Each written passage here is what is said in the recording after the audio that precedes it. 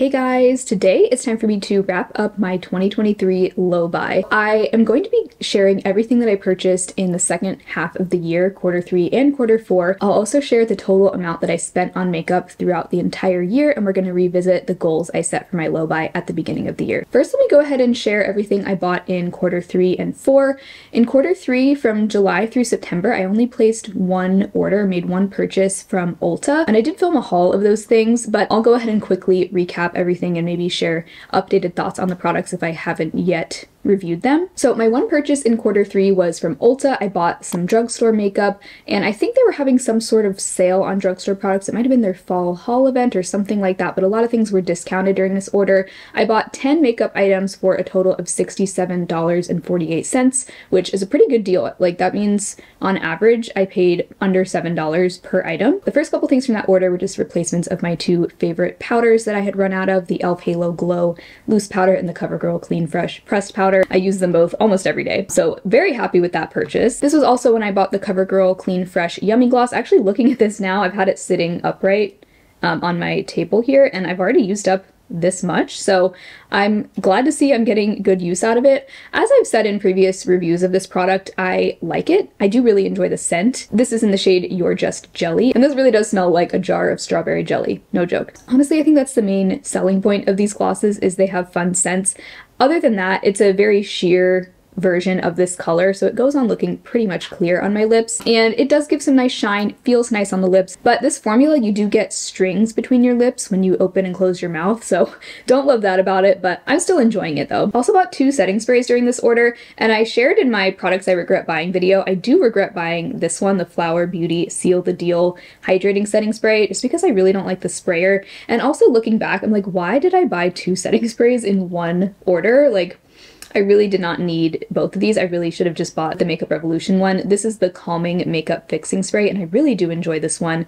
This is just like a good everyday setting spray. It does help with staying power, and it also gives my face a little bit of a glow. And the Flower one, I like the formula. It's really just the sprayer that I don't like. It does give a dewy finish like it says, but at the same time, it's not like oily or anything. Like it, I feel like it does help with longevity as well. But the sprayer on this is so annoying. It like, I always get these huge droplets on my face and it messes up the foundation underneath. So not a huge fan of that, but I do love the Revolution one. Another repurchase during this Ulta order was the Milani Anti-Gravity Mascara. And I actually didn't open this until just recently, even though I bought it in August. I opened it, I think like end of November. This was my favorite mascara of 2022 and now that I'm on my second tube of it, I'm not loving it anymore because this time around I'm getting flaking with this, which is really frustrating because the first time I had this, I swear to you, I never had flaking, smudging. Like that is always a deal breaker for me. I don't think they changed the formula. Maybe I just got an older one. I don't know, but I still love the effect it has on my lashes, but I don't love that it flakes. This ended up being one of my favorite products of the year, the Essence Pure Nude Baked Blush.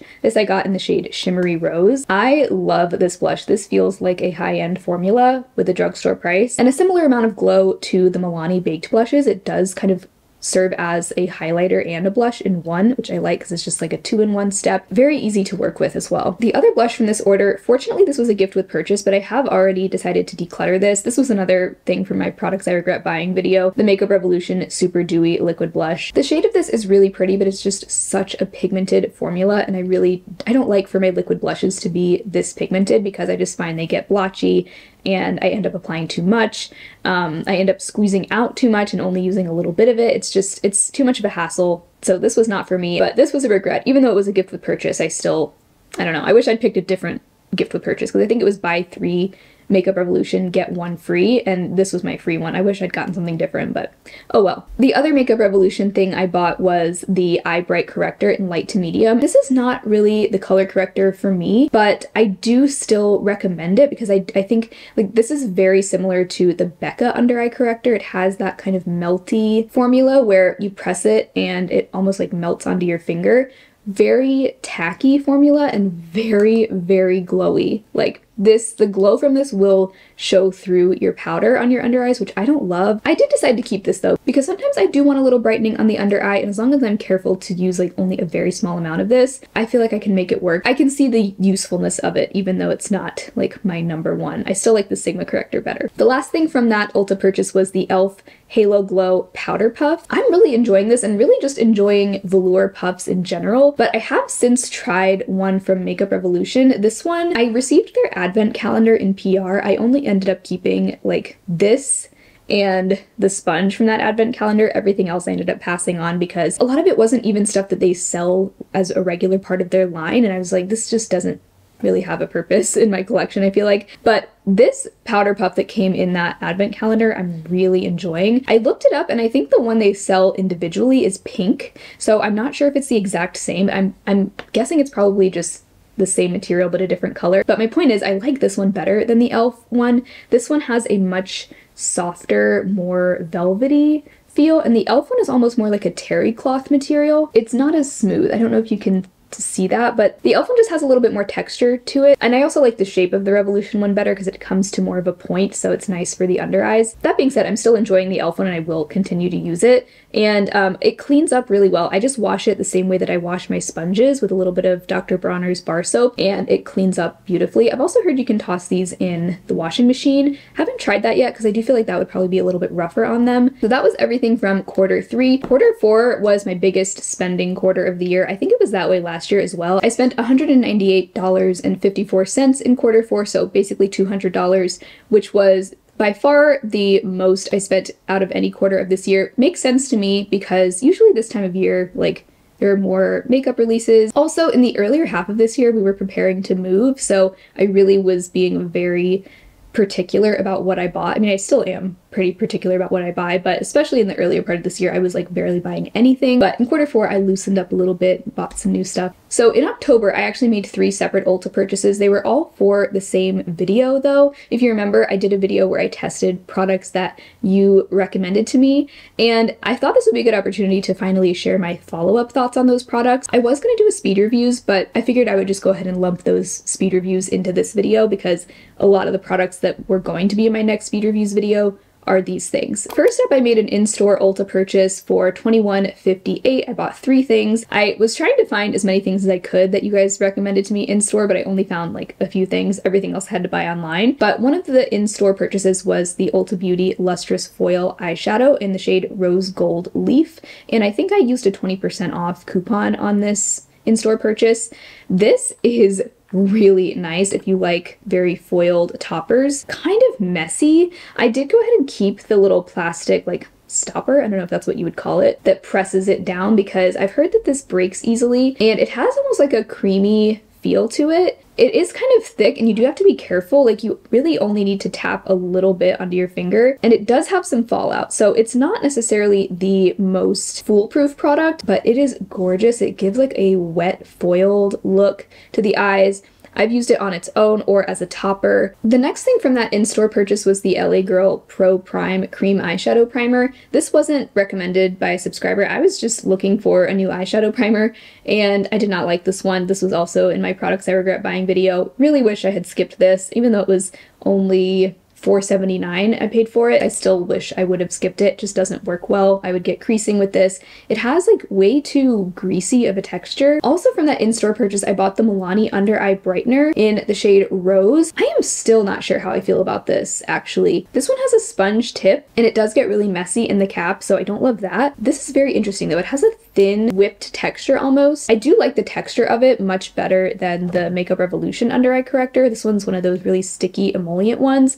This one is much more thin, doesn't have so much glow to it. I guess the thing I feel like is missing from this is coverage. This really doesn't have coverage. A lot of times, like I'm using a color corrector to correct my under eyes, but I'm also using it to just boost the coverage of my concealer a little bit.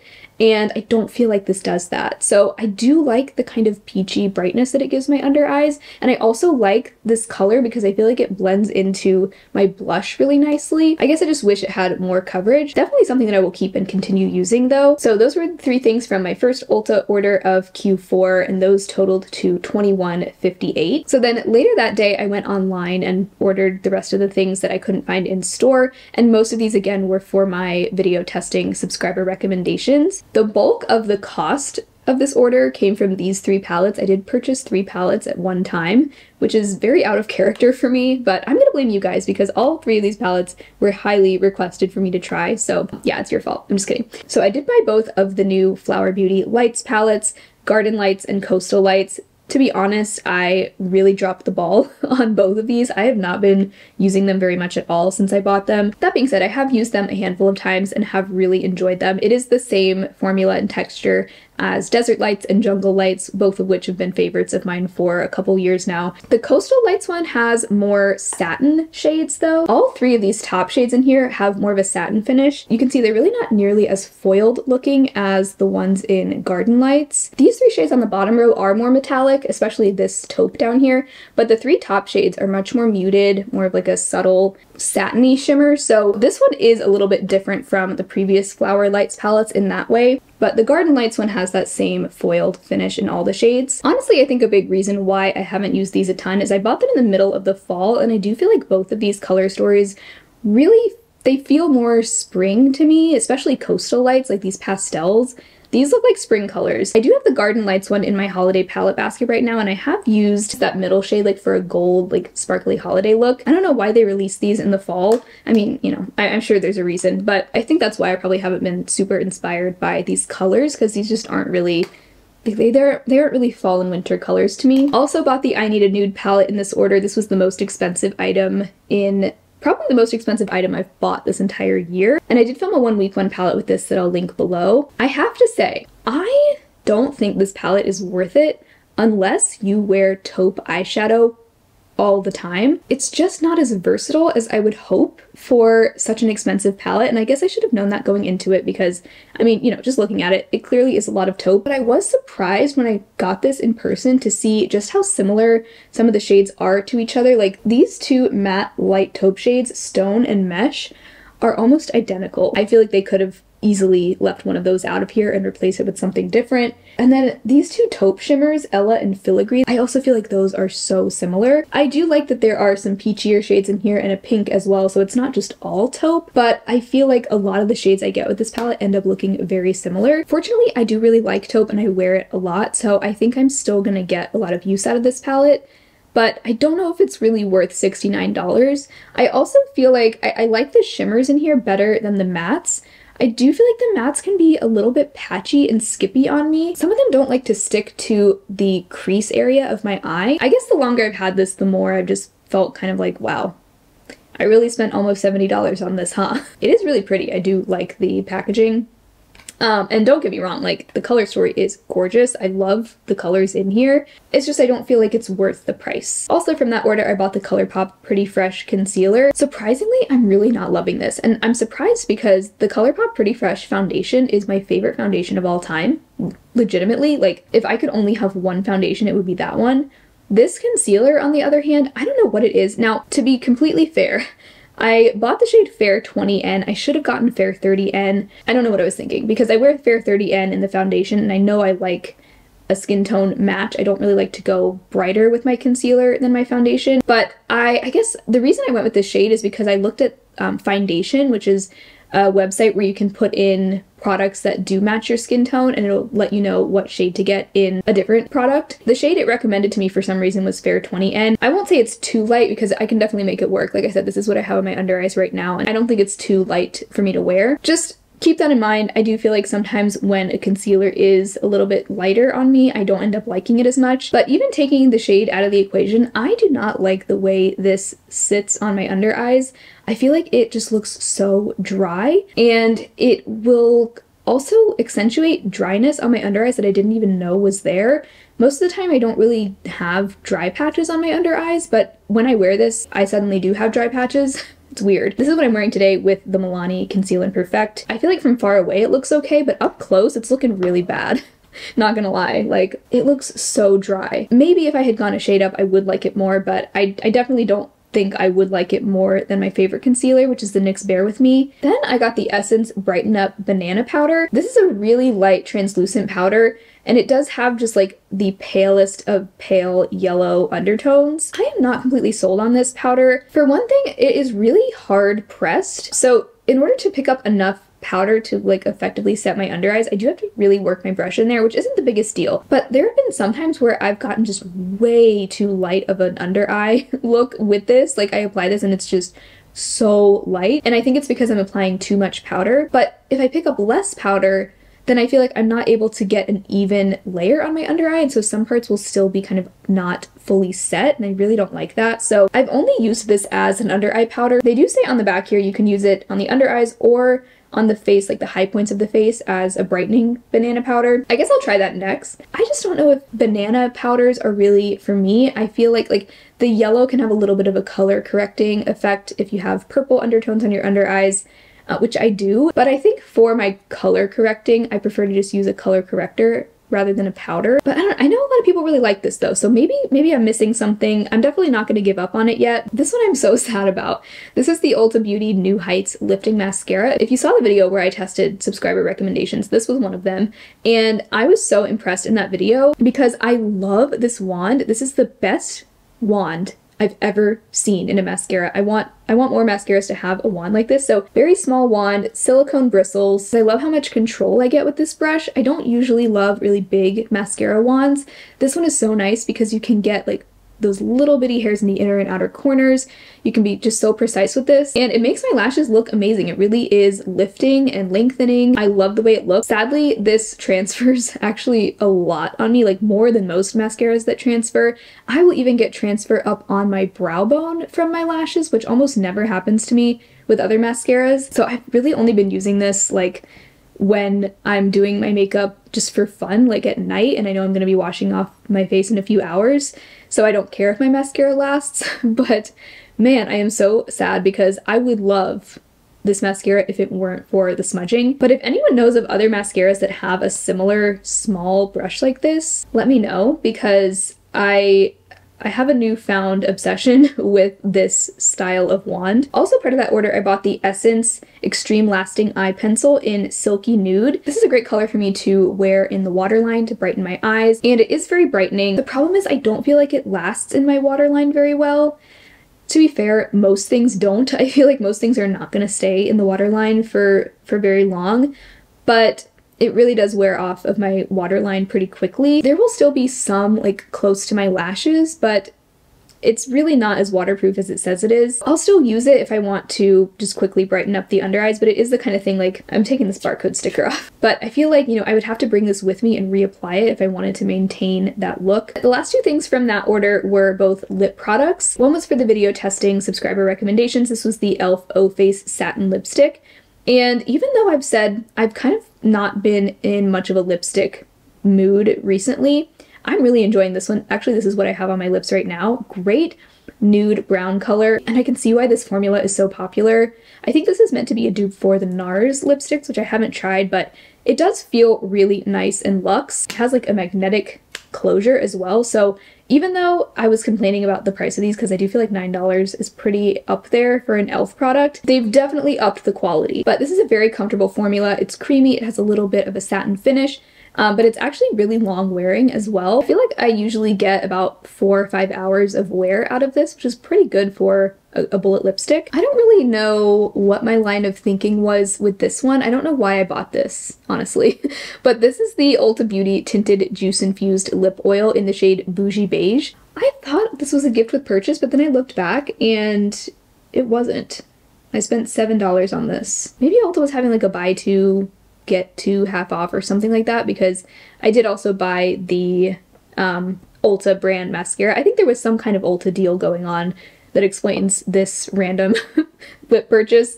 Um, but this is interesting. I actually had the regular, like the original Ulta juice infused lip oil years ago, the clear one, and I really liked it. And so it's been interesting to try the tinted version because this to me feels completely different. This actually is very pigmented. Like they call it tinted. Um, this is like a full coverage lip color. And it is a really pretty milky pinky beige. I love the color. Sadly, this is one of those lip products that bothers my throat. So I had to stop using it even though I do like the color a lot. It doesn't really feel like a lip oil to me. It more feels like an opaque lip gloss. I really wish I could keep wearing this though because I love a light nude pink gloss like this. I think it's really pretty. But these were the last two lip products I bought and I really am trying not to buy any more lip products for a while just until I can figure out what's going on with whatever this allergy, if it even is an allergy, I don't know. I pretty much put myself on a lip product no buy at this point. So that was everything from the big online Ulta order that added up to $150. I actually ended up going in store to buy one more thing for that video. I know, crazy. But um, this was $5, the Essence Baby Got Blush Cream Blush Stick. I'm liking this, but I wouldn't say it's a favorite. Um, I, I will say I do feel like I have to be careful with this because it does contain coconut oil. So I try not to use it too many days in a row because coconut oil often does break me out. I haven't noticed this breaking me out when I just wear it like one time, haven't had any problems. But I think if I were to wear it like every day for a week, I might start to see some breakouts. I don't know. I feel like for five dollars, like it's it's fine. Like it is a really pretty blush. It's got a little bit of a dewy glow to it. No shimmer to this, but um, a nice dewy finish. I do find I have to either pick it up on a brush or apply it to my hand first and then apply it to my cheeks. It's not really the kind of blush that you can just swipe directly on your cheeks or it will go patchy and lift up your foundation. It's fine, but not a favorite. So after all of that, I definitely slowed down my spending because I only bought two more things for the rest of the year.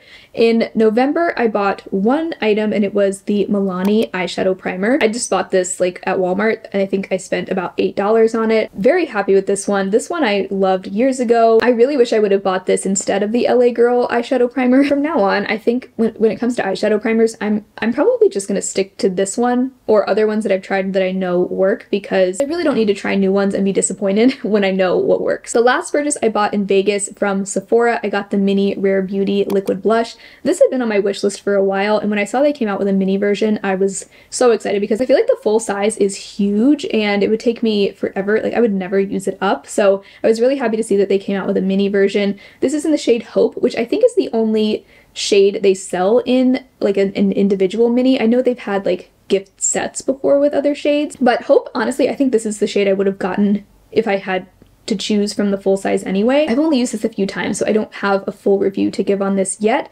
but um, I'll definitely continue to update you on that. So that is everything I bought in Q3 and Q4. Now let's take a look at the purchase caps that I set at the start of this year. So if you remember, this year I decided to set a limit for how many things I would allow myself to buy in each category. And then two categories were replacement only, which was eyeshadow primer and mascara. So let's take a look and see how well I did on this. So if we add up all of my purchase caps for every category, the total came out to 60 products total. So the goal was to purchase no more than 60 items for the year. And I ended up buying a total of 36 items.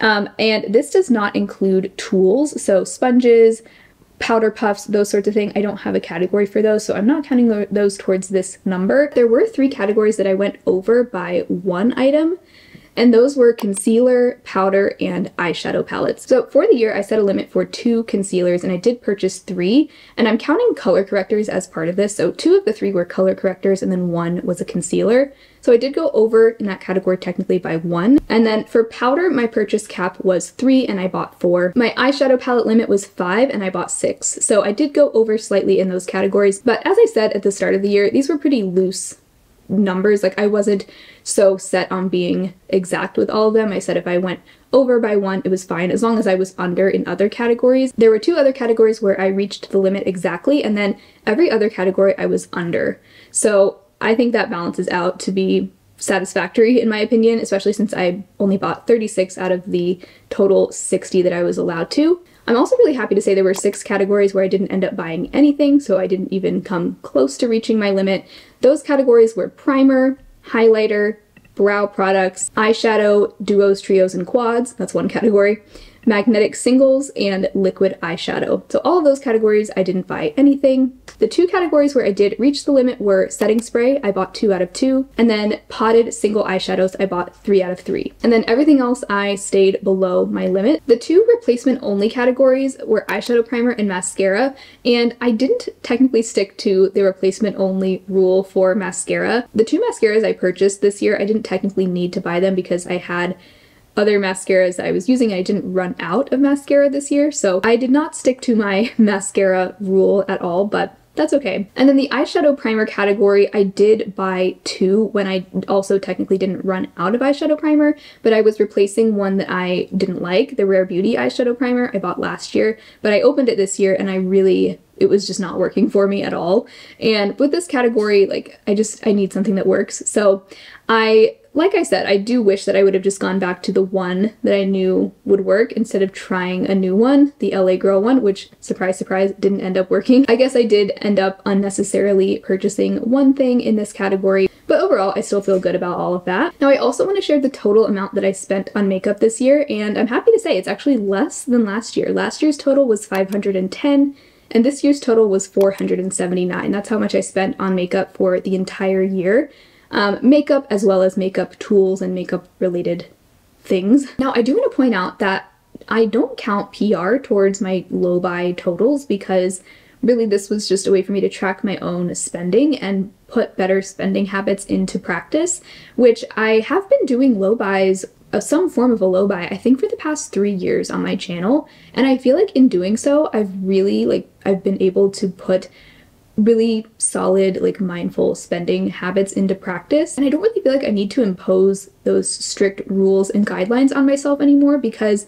i've i've learned the lessons of of a low buy, right? Like I feel like my spending is pretty under control right now. And I've also been doing a lot of thinking about whether or not it really makes sense to do a low buy or no buy as a YouTuber or content creator when you're also receiving a fair amount of PR. I've always been open to PR. In fact, you know, I've, I've been receiving some PR in some form for several years now. But as my channel has grown, of course, the PR has increased. And this year, I would say, was the first year that it was really consistently coming in. Like, probably I'm getting at least a package a week most of the time.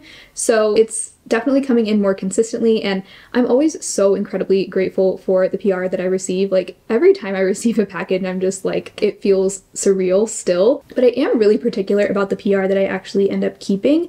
I would say more than half of the PR I get, I end up passing along to friends, family, or donating because even with PR, I still want to be discerning about what I am allowing into my permanent collection. And I only want to bring things into my collection that are really going to be useful or going to serve a purpose in my collection. So that's where I stand on PR. But this year, I was feeling kind of weird about posting these low buy updates because I don't really feel like documenting a low buy is that helpful when that person is also receiving PR because it's just not that relatable for the viewer viewer. Even though like I think my spending would be pretty minimal as a whole, like even if I weren't receiving PR this year, I definitely think I probably would have spent more this year than I did if I hadn't received any PR. So I still wanted to finish off the low buy series because I am the type of person like if I start something I want to finish it. Like I don't want to just leave you guys hanging. Um, and I do still think it's fun to track my purchases and trends over the course of a year. I do think it's really interesting to see. But at the same time I don't really think it's going to make sense for me to do a dedicated low buy on my channel in 2024 because like I said even if it weren't for the PR aspect I, I still don't feel like I need to do a, a low buy like I have like I said I have pretty healthy spending habits as it is, thanks to doing a low buy for the last few years. And I really don't think anyone should need to do a low buy or a no buy multiple years in a row. Like ideally you do it for a year or like whatever set amount of time, you learn the lessons from it and then you don't need to keep setting like strict rules for yourself anymore. The other thing is also as a YouTuber, even if again, even if we weren't taking PR into consideration, a lot of the things I buy are specifically for my channel. For example, like all of those Ulta purchases in October, those were, most of those were for a video where I tested subscriber recommendations. If I weren't a YouTuber, I probably wouldn't have bought most of that stuff. So that's another thing, like to keep a beauty channel going, you do kind of have to buy makeup for the purposes of your channel.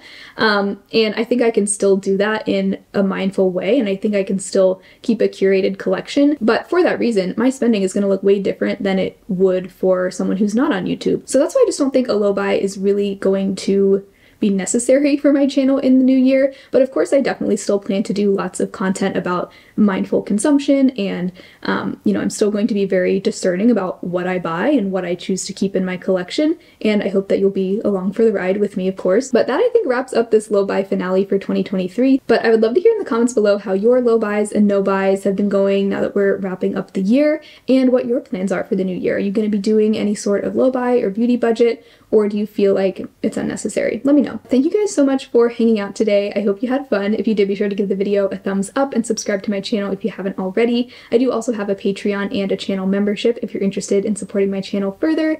Otherwise, I hope you all have an amazing rest of your day, and I will talk to you again very soon in my next video. Bye!